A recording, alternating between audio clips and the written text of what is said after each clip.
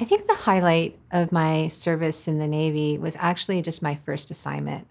My first assignment after I finished my training was in a place called Diego Garcia. Diego Garcia is in the middle of the Indian Ocean. It's a tiny island. The closest major hospital was an eight hour flight away. And uh, so, what was really interesting about Diego Garcia is the only people on Diego Garcia were the military people assigned there and some support. There were no families, there was no local community. And I was there for 15 months. So, for 15 months, my whole community was the people that I worked with and lived with, and they were in the military. So, it was quite an introduction to the military for me. But a lot of great things were uh, happened for me when I was in Diego Garcia.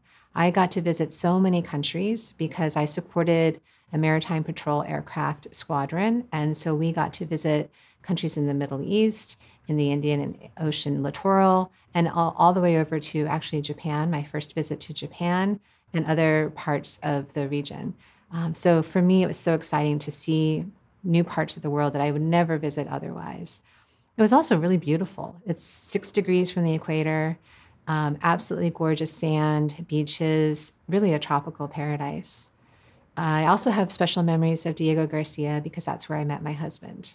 Um, but what was really interesting was that I was the only intelligence officer on the island that was assigned there. Occasionally, uh, there were other intelligence officers who came with the squadrons, but I was the single intelligence officer assigned to the island, and it was my first job.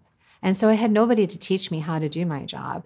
And it was really a great opportunity for me to grow professionally and to build my confidence. And I just really found that to be an exciting time of my life. And I would consider that the highlight of my Navy career.